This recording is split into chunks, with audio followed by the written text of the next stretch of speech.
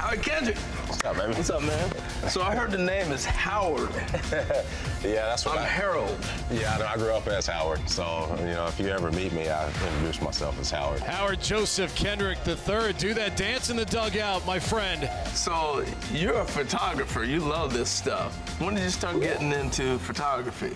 I've probably been doing photography probably for about nine years now. You know, it, it sparked my interest when I had some pictures of the kids taken that didn't really turn out the way that I thought they should have. Oh, so, so was, somebody else took them, and you're so, like, I can do that. Yeah, so I, you can ask Jody. I said, oh, I could, I said I could probably do that. So I, I, went and bought a camera, and I just started taking pictures. I didn't really have any idea what I was doing at the beginning, but that's me in a nutshell. Like I'll just see something I like, I'm like, I'm gonna try that and see if it works.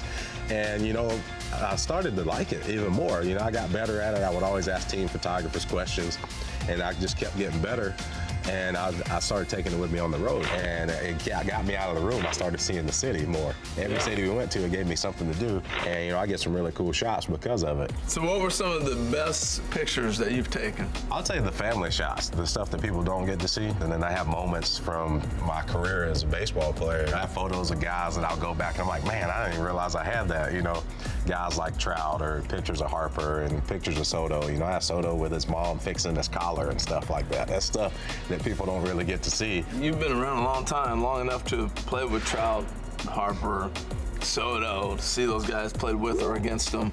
Some great young talent coming through the big leagues. Um, who stands out? Who's different? The obvious guy is Mike Trout. This kid is a stud. S-T-U-D. Of all the players I've played with, I don't think anybody would argue that that's the best player that I've ever played with. You know, just and honestly, Mike. The reasons I love Mike though is because of who he is as a person. Thank you so much. No problem. I got to see the Mike Trout that played with my kids in the locker room that would throw them baseballs or play catch with them. The guy that would be 0 for 5 with three punch outs and still be the same guy.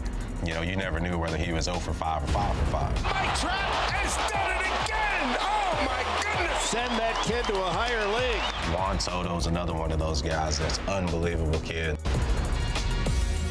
A tremendous home run by Juan Soto. He's 20, 21 years old, you know, and I see a lot of similarities in him that Mike has. That 21-year-old kid has been unbelievable this postseason. So before you get to the World Series, let's go back to the Dodger Series and the big Grand Slam. Swinging a fly ball, center field deep. Bellinger going back to the warning track, to the wall. It's a grand slam. Howie Kendrick has done such a huge play. I think it caught a lot of people by surprise. What was your approach when you were walking up to the plate and getting ready for that at bat? honestly, it's funny because I tell my wife about this, and she goes, "What were you doing when you're on deck? What were you thinking?" People always ask me about that, and you know, I was talking to God on deck, and most people be talking about like, "Man, what's my approach?" And I said to God, I said, "Hey, man, if you got anything for me right now, now's the time."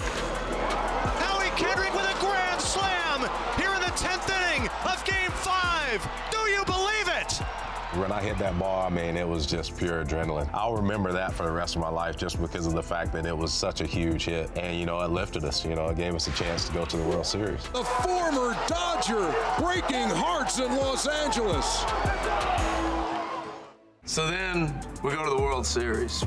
The cool thing about a series, particularly World Series, is you get to log pictures as you're going through seven games in 10 days. Yeah. So I set that up to ask you about facing Harris. Take me through your thought process. Same similar thing with Joe Kelly at bat. I'm, you know, as they're, I'm sitting on deck and I'm talking to God again, like, hey man, you got something for me now's a good time again, you know, and I walk up to the plate, first pitch, I'm looking heater, and he got one down.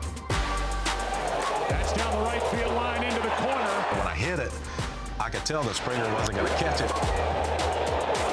Howie Kendrick has made it 3-2. Once I saw it hit the foul pole, I was like, I just, you know, same emotion as the Dodgers game.